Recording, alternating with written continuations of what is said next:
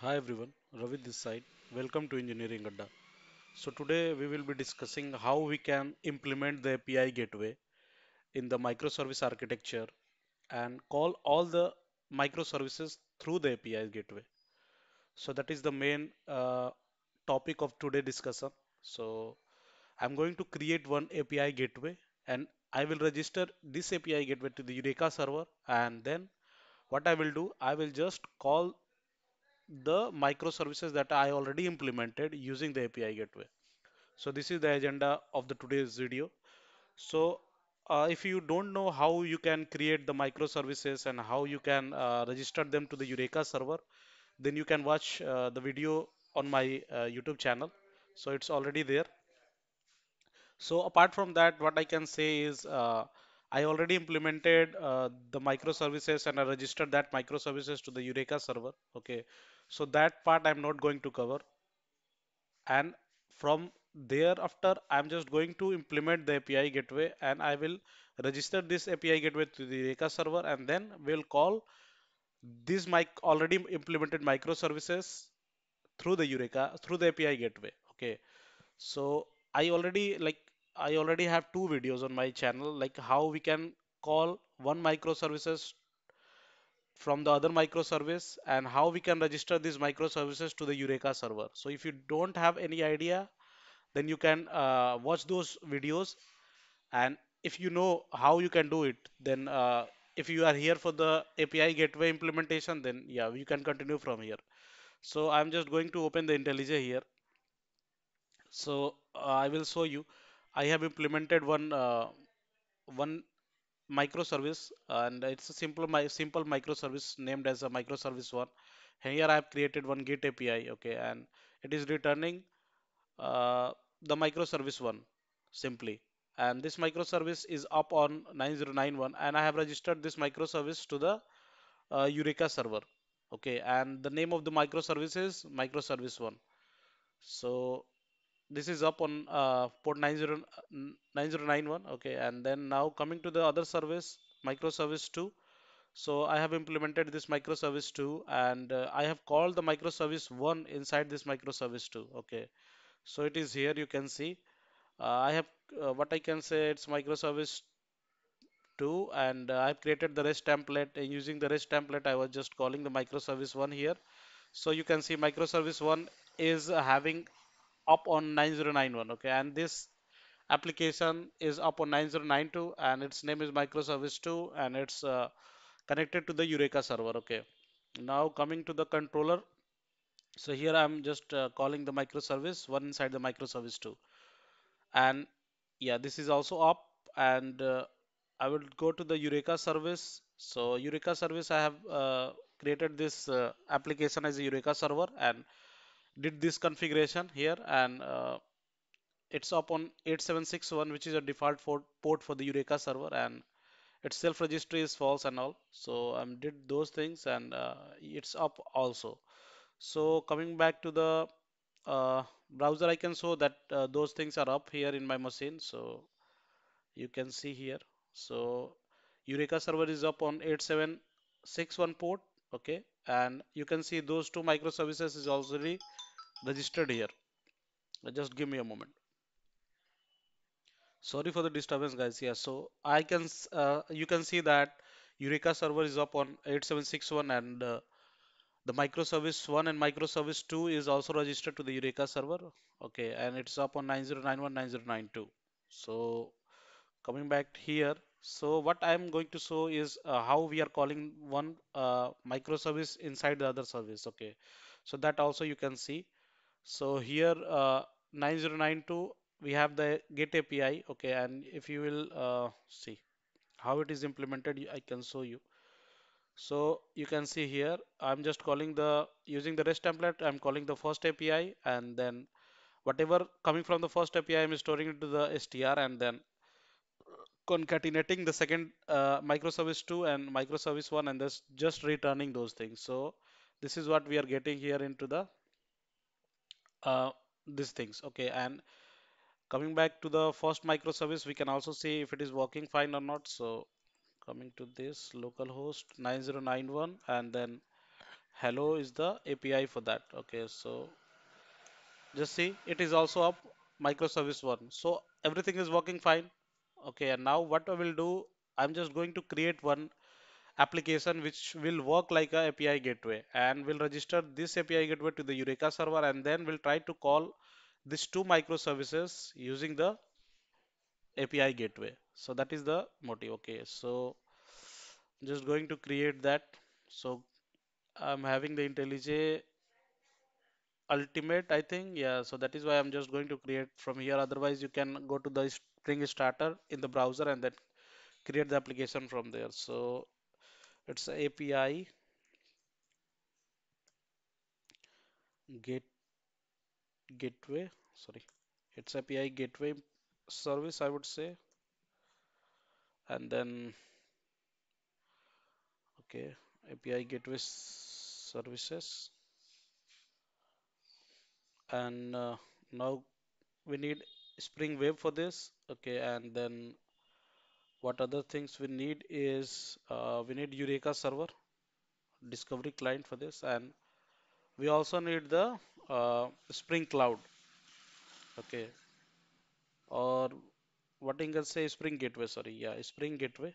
So Spring, it's come under the Spring Cloud routing. So these three dependency we need, just create it in a new window. So uh, let's start.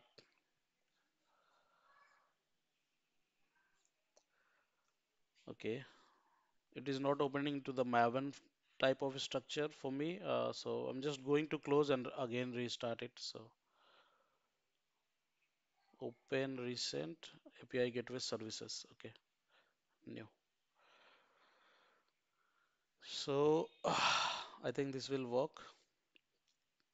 Okay, just getting some time. Yeah, load the Maven project and then uh, once it is loaded perfectly, then we can start developing the API gateway. So it's a more or less configuration that we need to do, nothing much. Okay, so it's about the configuration uh, that we have to do into the applic uh, this properties file, application.properties file. Okay, uh, there is another way of uh, implementing the API gateway, uh, which is a Java implementation way. But here I'm just um, just going to do the application. Like we are just going to configure that API gateway in the application.yml file or application.properties file. Okay. So before that, yeah. So we need to do some configuration here. Okay, and just uh, trying to create one file which is application.yml.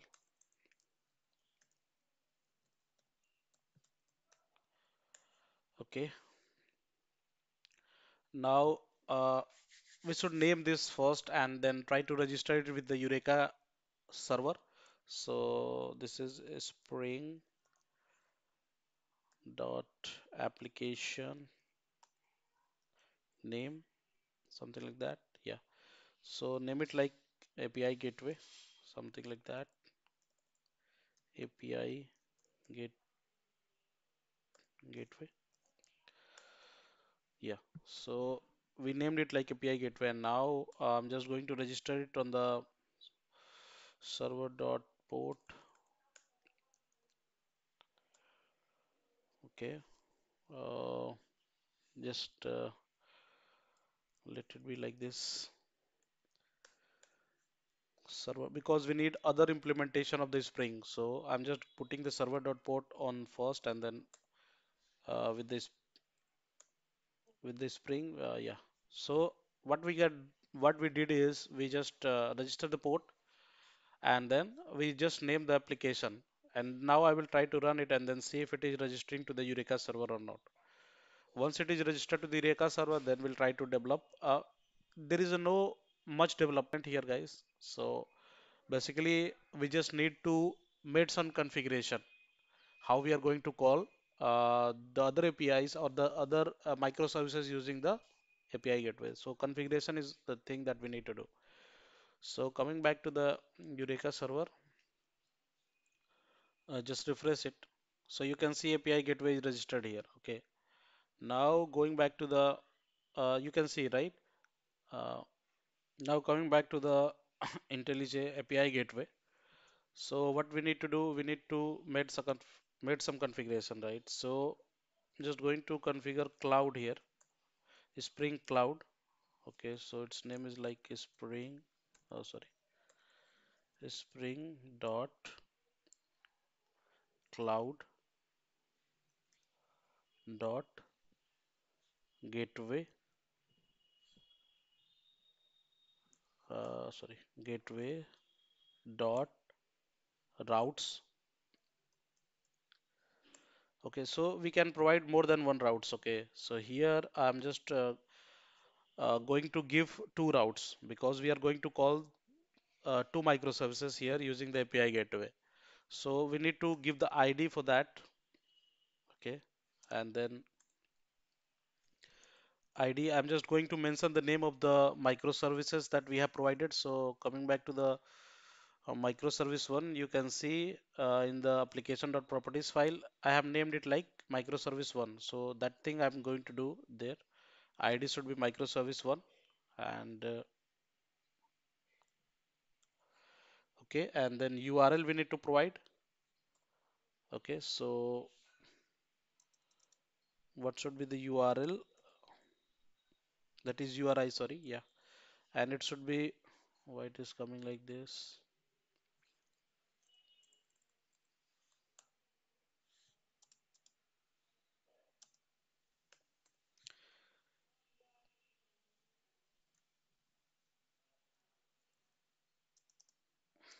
Okay, just give me some time. URI.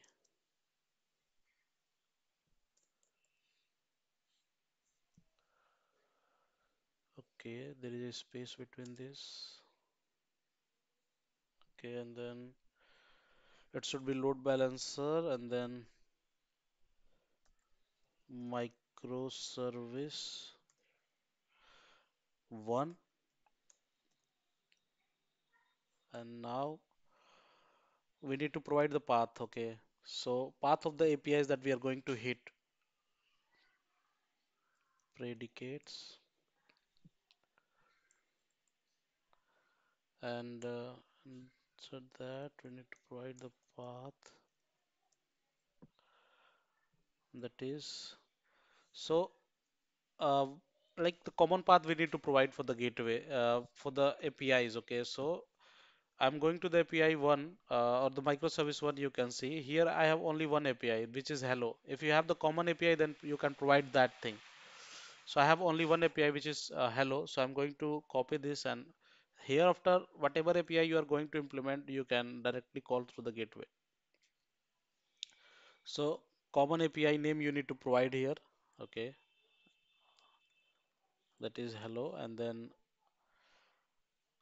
whatever after this it can take if you put the double star here similar we need to provide for the microservice 2 also so id and these things okay microservice 2 microservice 2 and uh, for microservice 2 the path was hello 2 okay so i'm just going to do that. And we are good with it but why this is coming i need to check it and then we can try it out. So the first one it is done. What about the second one?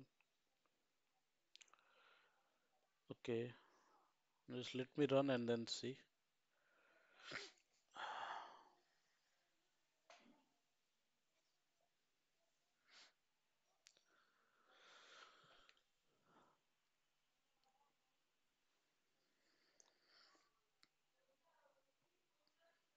Okay, URI this microservice one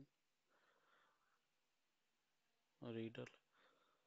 Uh, it's a bit tricky here uh, because uh, what I can say is it's a space separated thing. Like it, if we are not going to use the correct space, then it won't work. So that is why it is not working. So not a problem. We'll try to see why it is not working and then we'll fix it out.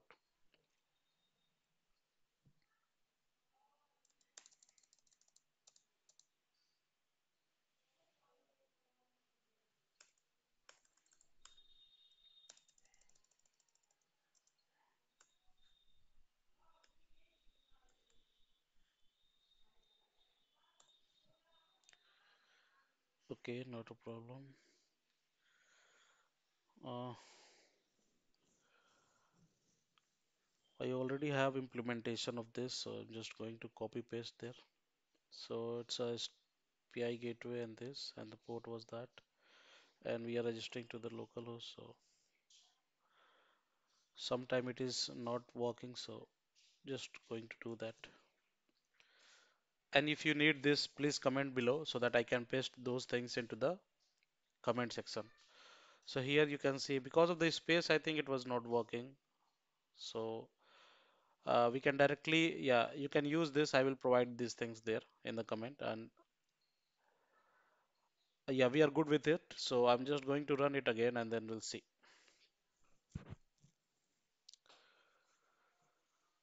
So you can see it is up on 9093 and uh, coming back to the Eureka also you can see how it is performing. So it is registered to the Eureka as well on 9093.